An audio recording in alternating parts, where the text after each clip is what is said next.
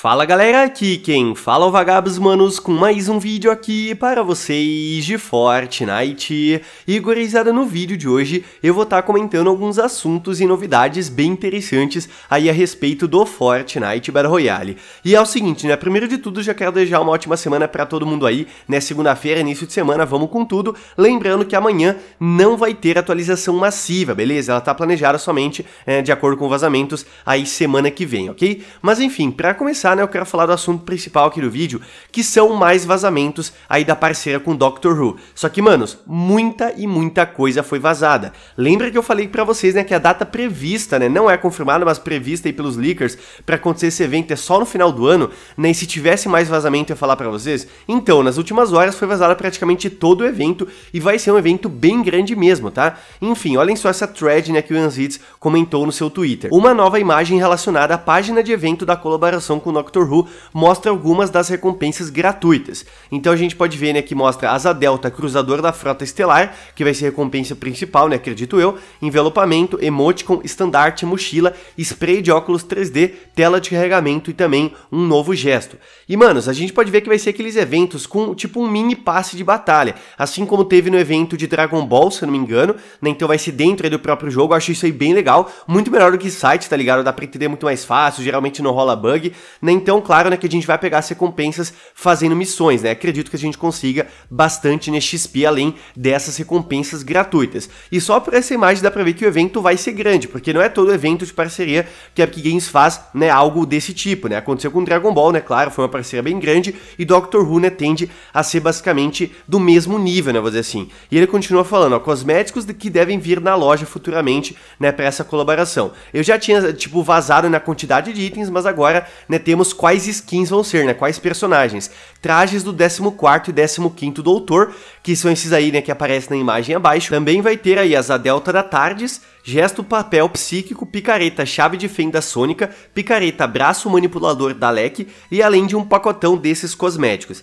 Manos, eu não sei se eu pronunciei o nome certinho, tá ligado? Eu realmente não conheço muito bem da série, então se eu falei errado eu já peço desculpas, mas para quem manja, né, para quem já assistiu aí, deve estar tá ligado então, né, nos itens que vão fazer parte do pacote. Os itens que eu falei antes, naquela né, outra imagem, vão ser de graça, esses aqui, né, vão estar sendo lançados na loja. Não vai ter skin gratuita, o que já era esperado, né, é muito difícil a Epic Games lançar uma skin de graça assim, de evento de parceria, mas vai ter muita coisa chegando. Inclusive, não vai ser só esses itens chegando na loja, tá? Já foi vazado mais coisas indicando, né, novos itens chegando pra frente. Olhem só o que o Anzit fala aqui. Vai ter o rifle avançado Unit, que será a abreviação né, de UNIT, com função de rastreamento de jogadores, canhão guerreiro Warf, eu acho que isso aqui eu falei errado com certeza, com um sistema de segurar para ferir, rastro de fumaça gratuito, o mapa do modo criativo deverá apresentar uma história dublada, além de levar os jogadores entre vários planetas usando a TARDIS. O codinome nos arquivos seria Drums.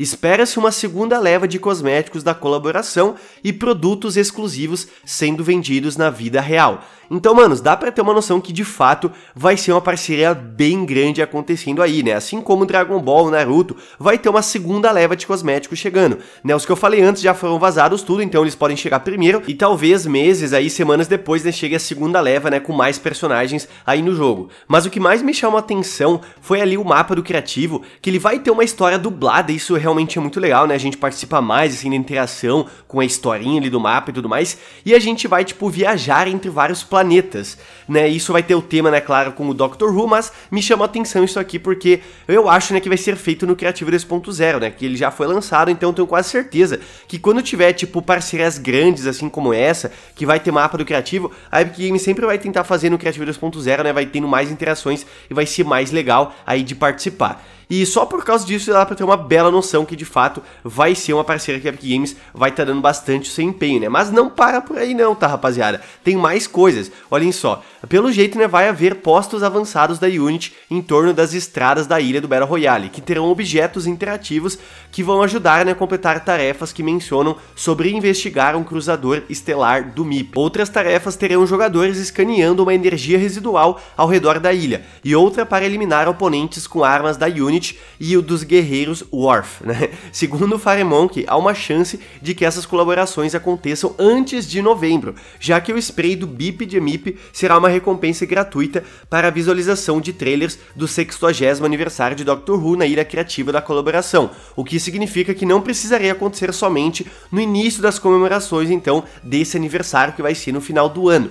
Ou seja, a data ainda não é confirmada, tá? Estamos especulando ainda, como eu tinha falado. Tava previsto, né, para ser final do ano, em novembro, por conta desse aniversário aí da série, só que pode acontecer bem antes. E eu realmente acho que vai acontecer antes, tá, rapaziada? Porque tudo isso já foi vazado, eu acho que não vai ficar só pro final do ano. Eu acredito que sim, né, vai ser ainda, quem sabe, aqui na temporada, mas por enquanto nada confirmado mesmo, né? Olhem só, a imagem conceitual abaixo mostra duas picaretas, né? As duas picaretas que pelo jeito vão chegar na loja, além da versão conceitual do papel psíquico que será usado para o gesto. Ao que parece, as dublagens da história deverão aparecer em tarefas do modo criativo, e acredite-se que as vozes sejam para o 14º e 15º Doutor. Essa imagem aí, manos, também já foi vazada, que é do novo rifle, né, o rifle avançado Unity, que eu mencionei ali algumas vezes, e talvez seja da raridade mítica, tá ligado? Se a gente pegar, tipo, itens de parceria que chegaram, né, muitos são da raridade mítica, mas é claro, né, muitos são itens, tipo, de poder ali, de anime, né, e claro, né, não pode ser itens tipo de raridade normal.